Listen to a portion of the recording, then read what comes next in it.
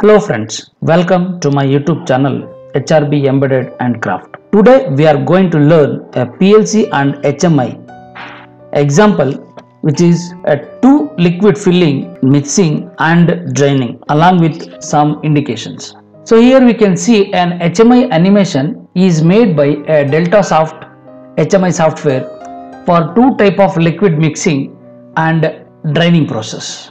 So we created one HMI animation screen which includes two push buttons which is used to start the process and to stop at any time the process along with some indicators fill timer and drain process. There are two solenoid valves to fill the tank and one solenoid is used to drain the tank after the process completed. These are the level sensors level 1 and level 2 which detect the level of the liquid inside the tank and here one more low level detector are provided to sense when the whole liquid is drained out now let us understand how this process works with this animation after that we will learn to build a ladder diagram for this process and creation of HMI screen so now we can see the HMI screen. So this is the start button and here it is the start button. As soon as the start button is pressed, solenoid valve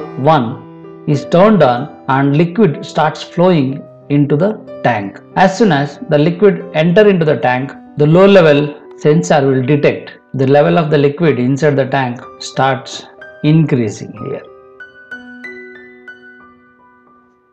As soon as the liquid level is reaches to a level 1 and this level 1 sensor detects the level of a liquid solenoid valve 1 is turned off and solenoid 2 valve is turned on to fill the second liquid into the tank.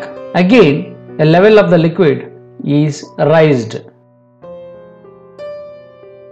Once the level of a tank is increases and it reaches to a maximum level the level 2 sensor will detect the higher level of the tank and it is turned on. Now both solenoid 1 and 2 will turned off and mixing motor is started and it runs for 10 seconds. And as soon as the mixing motor is stops the solenoid valve 3 is turned on liquid from the tank is drained out. And as the liquid is drained out the level of the liquid is decreases within the tank that we can see here. As the level of the liquid is reduces level 2 is turned off and, and level 1 is also turned off and when it reaches to a lower level of the tank and solenoid 3 is stopped and solenoid 1 will start again filling to the tank so now we can see here, we will see the indicators. When solenoid 1 is turned on, the fill indicator is turned on and as soon as the low level detects and as the tank is filled and reaches to a level 1. So now here solenoid 1 is turned off and solenoid 2 is also turned on. Now the fill is continues to run because solenoid 1 and 2 both are filling the tank.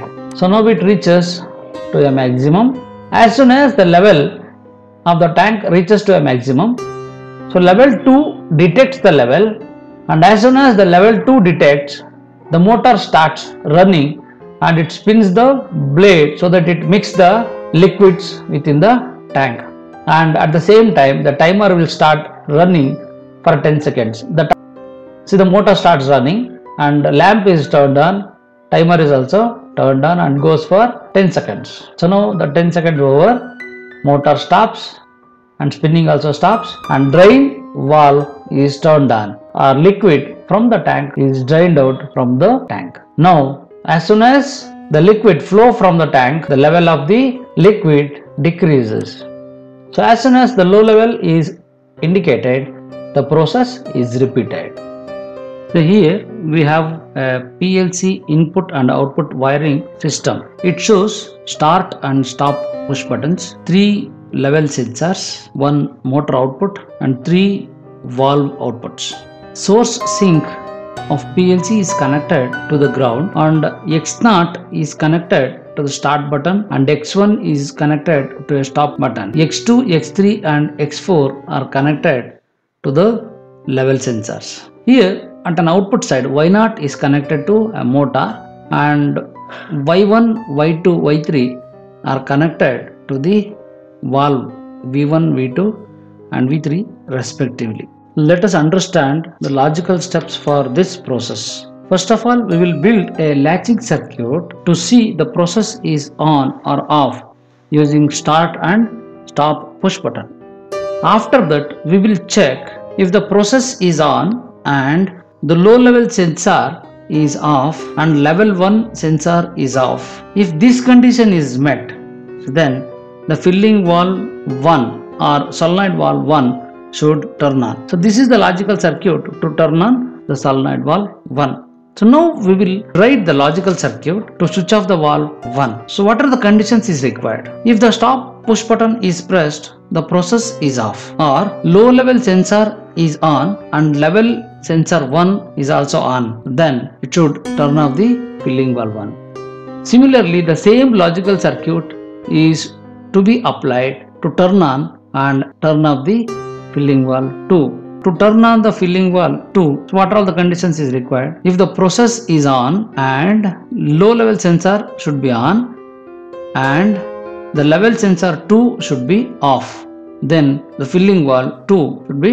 turned on. And to turn off the filling valve 2 we'll see that what are the conditions. If the process is off by top button or the low sensor is on and the level sensor 2 should be on. Then it should turn off the filling valve or solenoid valve 2 so this is about filling process. So now we will see the mixing process. If the process is on and the level sensor 2 is on then we should turn on the timer and to turn on the motor. If the process is on and the level sensor 2 and timer is not completed then we should turn on the motor. That means the motor should run for the timer is set for maybe a 10 seconds or 20 seconds as per our requirement. So this is about a mixing process. Now let us see what are the conditions is required to drain out the liquid from the tank. If the process is on and the timer is completed so that drain valve should be turned on. At the same time the motor is also should be turned off. So next we will see that what are the logic circuit is required to turn off the drain valve as well as to reset the timer. If the process is off or low level sensor is off then turn off the drain valve 3. So this is about a logical circuit is required for liquid mixing process. So now let us start a logic ladder diagram using ISP Soft 3.16 go for a new file okay we'll give you a name project name mixing and drain see controller type is a dvp and plc type is sc2 okay. So now we will define some input and output in device command list. Okay let us start from x 0 x 0 is start stop then x2 is low level sensor. X3 is level 1 sensor. X4 level 2 sensor. Then we'll go for y outputs. We'll got y naught is mixing motor solenoid 1 solenoid 2 solenoid 3 so then we'll go for m m0 is process on slash off. M1 will say fill indicator. And then we'll select some t mixing time okay now we'll close. And then we'll go for programs. New. Then program name is we'll select mixing mixing. And uh, cyclic task ladder diagram. Then we'll give ok so now we'll draw a ladder diagram for process latching. We'll write process latching in comment box. For this we require start stop then one output. M0 x1 stop x0 m0 to latch.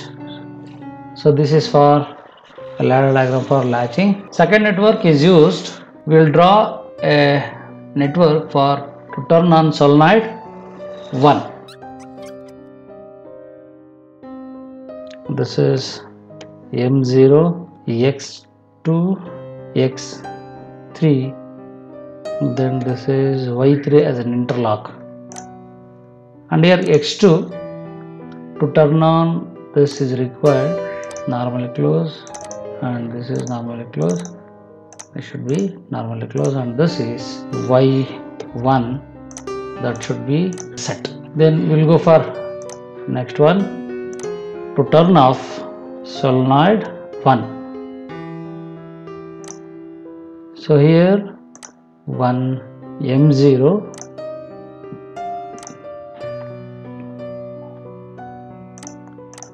this should be y1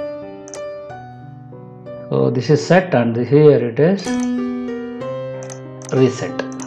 And another conditions whether process should be off or x2 and x3 should be turn on then we'll go for to turn on the solenoid 2 and we'll go for new network what are the conditions? Here this is automatically m naught and this is x3 level 1 x4 11 2 and this should be y3 as an interlock. This should normally close. And here this is y2 so now we'll draw a another ladder for to turn off solenoid 2 so here is it is this is m0 and here it is x3 x4 and then this is y2 that should be reset. This is about to turn on and turn off of the solenoids then we will move for mixing. Before that we will provide one network to turn on indicators. So what are the conditions that we so here whether y1 or y2 either solenoids 1 or 2 is turned on indicator should be turned on. So now we'll move for another network to turn on the motor mixing motor. We'll write a comment motor turn on. To turn on the motor process should be on and higher level sensor should be turned on and timer should not be completed. So this is important. Should not be completed. This is output is motor y0 mixing model. so now we will draw another network for a timer so here one two and this is m0 and here this is x4 until unless these two are turned on the timer should be continuous to run write tmr if you got one timer. This is we'll give a name of t0 is a timer mixing time. And we give 100 because this 100 milliseconds timer so that for a 10 seconds we need 100 if I write 100 here then it will give you a 10 seconds. So now we'll write another new network to turn on the drain valve so here the condition is latching process timer output. So here this is m0 and when the timer is completed drain drain valve should be turn on. What is the output? Drain valve is y3 this should be set. So now we'll write another network to turn off the solenoid valve. Y3 this is one more we required and here it is. M0 should be close. And here this is x2 I mean low level sensor should be turned on should be give a falling edge. Should be give falling edge. Once it is giving a low sensor so your drainer should be reset. That is this is go for reset. And here the T0 also should be reset. This is about a ladder diagram for the mixing process. So now we will test. Yes we got zero warning and zero errors. So now we will run this with the simulation now we will open communication driver and we'll add new one called as mixing. And the type is DVP simulator. And here SCA2 type. Mixing now let us start. So now we will download compile the project download not startup. Okay here. Now we will download. Close. Then we will run. Then go for online. Then turn on empty so now okay sorry here we need to provide this normally close. So then go for online. You need to download again.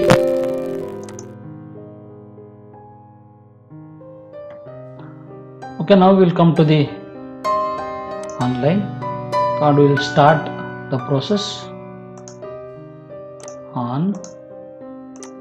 So now the process is turned on the same time solenoid 1 is also turned on so that the liquid is filled into the tank. Once the level is reaches low level is sensed and once the level 1 is sensed solenoid 1 is turned off and solenoid 2 is turned on so that the second liquid is going to be filled into the tank. So here the fill indicator is indicated the liquid is filling into the tank. So after reaches to the second level or maximum level then this switch is turned on so that indicators are turned off both and it runs for 10 seconds mixing time. Then mixing motor is turned off and solenoid drain valve is turned on so that the liquid from the tank is completely drained out. Once the low level is sensed by a sensor. As the liquid is drained out from the tank so that the level 1 is also turned off level 2 is also turned off. Once it reaches to the low level then this is turned off. Again solenoid 1 will turned on so this is about a logic ladder diagram for process mixing. The same ladder logic diagram we'll see through a HMI animation. Okay we'll stop the process. So now everything is stopped using stop button